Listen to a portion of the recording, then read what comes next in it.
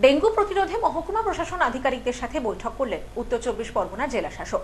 যশোর রোডের গাছগুলির প্রসঙ্গে তিনি বলেন, অতি দ্রুত গাছগুলি ট্রিমিং করার নির্দেশ দেওয়া হয়েছে। ডেঙ্গু ও মশাবাহিত রোগ প্রতিরোধে মহকুমা প্রশাসনিক কর্তাদের সাথে বৈঠক করলেন উত্তর চব্বিশ পরগনার জেলা শাসক সুমিত গুপ্তা। এদিন বনগাঁ, বাগদা ও গাইঘাটা ব্লকের বিডিওদের সাথে বৈঠক করেন তিনি। সিএমওএইচ ও হাসপাতাল সুপারও এদিনের বৈঠকে ছিলেন। বৈঠকে নিকাশি নালা পরিষ্কার সহ মশা রোধে একগুচ্ছ পদক্ষেপ নেওয়া হয়। জেলাশাসক সুমিত গুপ্তা বলেন, আমরা আগে থেকেই পদক্ষেপ নিয়ে রেখেছি।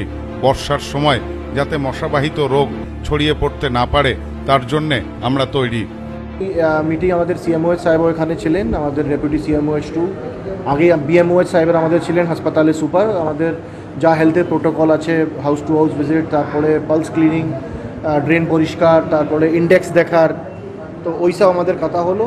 বিটিআই আমাদের যা বায়ো লার্ভিসাইড হয়, সেটা গাপ্পি ফিশ মানে আমাদের প্রোটোকল হিসাবে এখনও আমার প্রোটোকল হিসাবে আমরা একদম রেডি আছি। বনগাঁতে এখনও খুব কম কেস আছে, অল্প কেস আছে।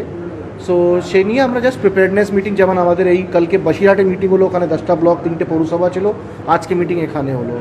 আমাদের হেলথ দফতর মাননীয় মুখ্য সচিব খুবই জোর দিচ্ছেন, ডেঙ্গু নিয়ে আমাদের প্রিপেয়ারনেস এই তো বৃষ্টি যেহেতু চলে আসছে। তো আমরা এই জন্য জায়গায় জায়গা গিয়ে মিটিংটা করছি।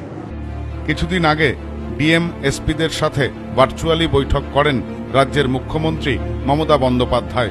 সেই বৈঠকে উত্তর চব্বিশ পরগনার ডেঙ্গু পরিস্থিতি নিয়ে উদ্বেগ প্রকাশ করেন মুখ্যমন্ত্রী। ডেঙ্গু যাতে ছড়িয়ে না পড়ে, তার জন্যে জেলা শাসককে নজর রাখতেও বলেন তিনি। ডেঙ্গু প্রতিরোধে সমস্ত রকম পদক্ষেপ গ্রহণের নির্দেশ দেন মমতা বন্দ্যোপাধ্যায়। এরপর নড়ে চড়ে বসে জেলা প্রশাসন। গত রবিবার যশোহর রোডে চাঁদপাড়া এলাকায় দোকানের ওপর গাছের ডাল ভেঙে দুজনের মৃত্যু হয়। এই ঘটনার পর আবারও যশোহর রোডের গাছ নিয়ে নানা প্রশ্ন সামনে আসে। এখনও বেশ কিছু জায়গায় রাস্তা জুড়ে ঝুলছে শুকনো বিপজ্জনক ডাল। সেগুলি কাটার দাবি জানাচ্ছেন অনেকেই। এদিন এ বিষয়ে জেলা শাসককে প্রশ্ন করা হলে তিনি বলেন, গাছগুলি দ্রুত ট্রিমিং করার জন্যে বলা হয়েছে। এ বিষয়ে তিনি আরও জানান।